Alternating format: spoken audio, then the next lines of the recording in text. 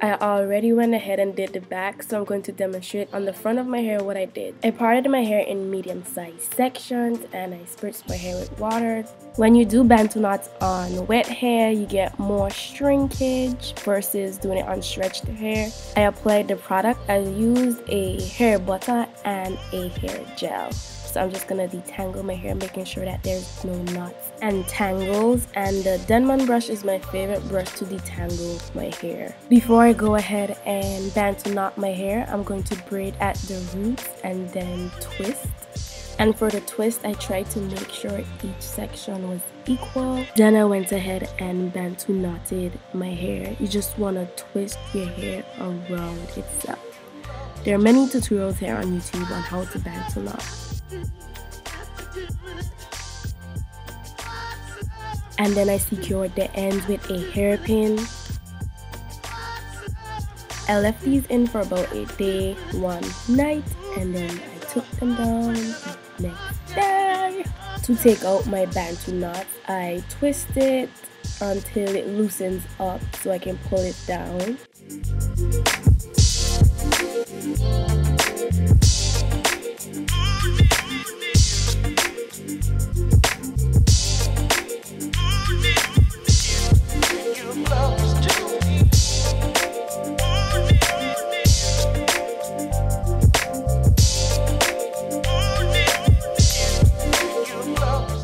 Now I'm going to unravel the twist. The way to get big frizzy hair, especially if your hair is long, is to unravel your hair when it's not fully dry, when there's a little bit of damp left in your hair if you want that afro look. Or you can get that afro look when your hair is fully dry, but it's gonna be more polished.